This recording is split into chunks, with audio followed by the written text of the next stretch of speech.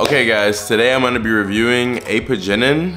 Right here, I have Nootropics Depot 50 milligram capsules, and I have to say, Apigenin, hands down, you guys don't even have to watch the rest of the video, hands down is the best sleep aid I've ever tried.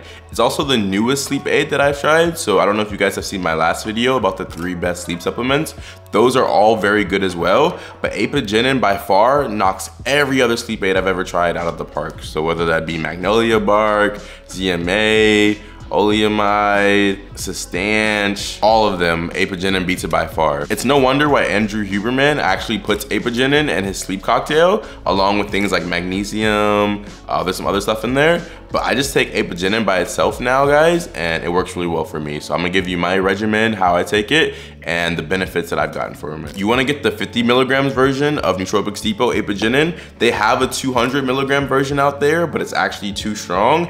And what happens if you take too much Apigenin is it does the opposite. Instead of put you to sleep, it will stimulate you, and you don't want that because you'll be up all night. So get the 50 milligram version, and how I dose it is I take it at night on an empty stomach before I eat dinner. I do eat dinner dinner kind of close to bed, so don't do that. But I take it on an empty stomach so it affects you more, you feel it more. And usually within like an hour, really before that, I'll start to feel just like more peaceful. I feel like winding down more. With Apigenin, I actually do get into my deep sleep cycle. And how you know that is if you start having dreams. So I kind of stopped having dreams recently, but after using Apigenin, I've been having really vivid dreams again, which tells me that I'm getting into like my deep REM cycle, which is where we have our crazy dreams at. I also like it because it doesn't really make me feel hungover the next day, like some other supplements like ZMA or Sustanch would do. I will say with Apigenin, I take it every other other day because it does have a really long half-life. I heard the half-life is like over 24 hours or something, which basically means it stays in your system for a pretty long time. How I dose it is I dose it every other night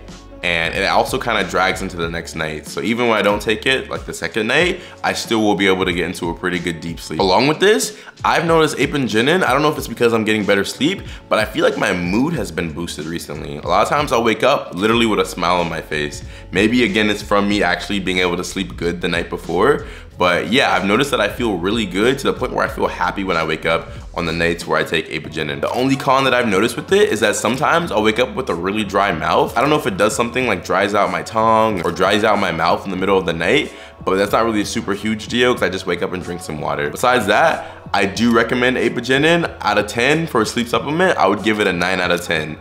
No side effects for the most part, no drawbacks. Try it out, guys. Let me know how you like it. Thank you guys so much for watching today's video.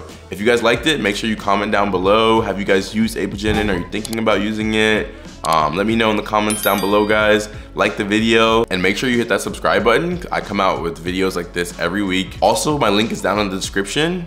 You can schedule a call with me and we can figure out a specific biohacking regimen specifically to your needs. So hit that link down in the bio if you'd like to schedule a call to talk to me.